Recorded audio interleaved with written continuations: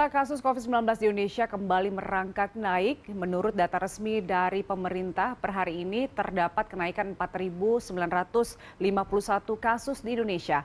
Dan untuk mengetahui update terkait dengan lonjakan kasus COVID serta bagaimana penanganan pada varian baru ini, kita akan membahasnya dengan juru bicara Satgas COVID-19, Profesor Wiku Adi Sasmito. Selamat malam, Prof. Wiku. Selamat malam, Mbak Yulita. Iya, Prof, ini untuk kasus COVID-19 di Indonesia per hari ini tercatat lebih dari 4.000 kasus ya. Sebenarnya ini apa yang menyebabkan hal ini terjadi? Apakah ini terkait dengan varian baru COVID-19 Omicron XBB itu, Prof? Ya, baik. Jadi kalau uh, hal itu belum bisa disimpulkan. Jadi ya. dari pemeriksaan Kementerian Kesehatan sampai dengan saat ini selama September dan Oktober, itu ditemukan sejumlah 12 kasus uh, varian XBB. Jadi relatif angkanya kecil. Tetapi kalau kita lihat dari kasusnya sampai dengan ya. akhir uh, bulan Oktober itu sekitar 3.000 dan uh, kemudian di awal November ini mulai menanjak 4.000 dan uh, terakhir pada hari ini 4.951 jadi penyebabnya tidak bisa dikatakan itu terkait dengan xbb ya. dan eh, tiga puluh enam persennya hari ini kasusnya kontribusinya dari dki jakarta. Jadi sebenarnya ini kaitannya dengan protokol kesehatan. Hmm.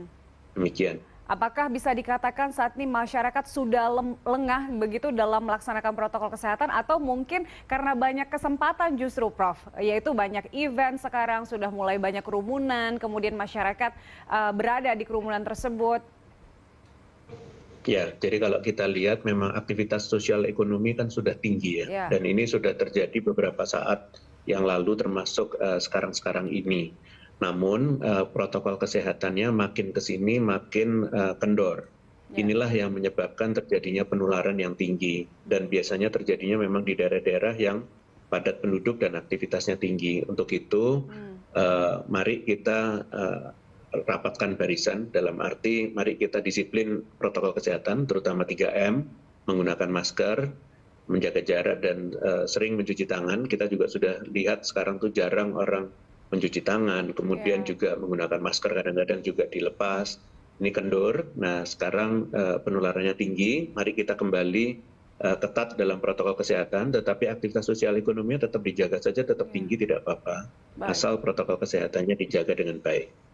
Ya, aktivitas tampaknya sudah normal, tapi kemudian keadaan kita ini belum normal sebenarnya begitu ya, Prof ya. Nah ini kalau kita lihat ya. beberapa varian itu kan punya otentifikasi ya terhadap gejalanya begitu, Prof. Nah yang banyak terjadi sekarang tuh gejalanya apa saja kebanyakan, Prof Iko? Pada prinsipnya gejalanya sama dari uh, berbagai varian yang ada dan karena mayoritas masyarakat juga sudah divaksin satu dan vaksin dua meskipun booster yeah. hanya beberapa daerah tertentu saja yang uh, sudah lumayan tetapi banyak yang uh, vaksin boosternya masih kurang jadi uh, secara gejala pada prinsipnya sama dan dari 12 kasus yang ditemukan dari XBB tersebut relatif uh, semua sembuh dan uh, sebagian mereka juga sudah di vaksin bahkan sudah di booster.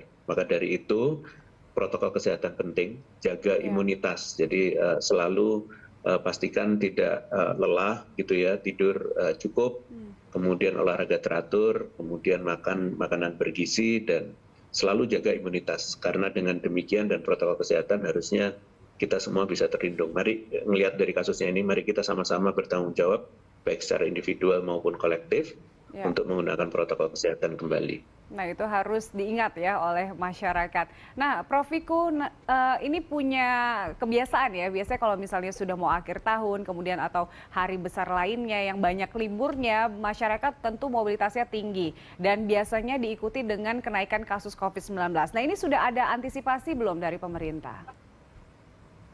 Ada, jadi kan ini kan sekitar dua bulan sebelum Natal dan Tahun Baru ya. Nataru. Ya. Jadi ini adalah peringatan buat kita semuanya belum sampai dengan akhir tahun sudah mulai naik merangkak naik kasusnya. Maka dari itu mari kita ketatkan protokol kesehatan. Keadaan sosial ekonominya tetap saja dijalankan nggak apa-apa.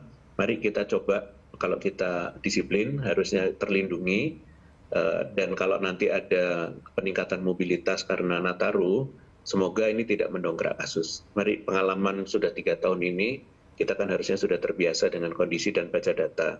Dan kita mari kita tanggung jawab karena uh, beberapa orang, terutama Jawa Tengah nih yang uh, jumlah kematiannya tinggi, yeah. padahal kasusnya tidak setinggi di DKI Jakarta. Ini salah satunya juga karena vaksin boosternya uh, masih relatif rendah, terutama Baik. untuk yang lansia.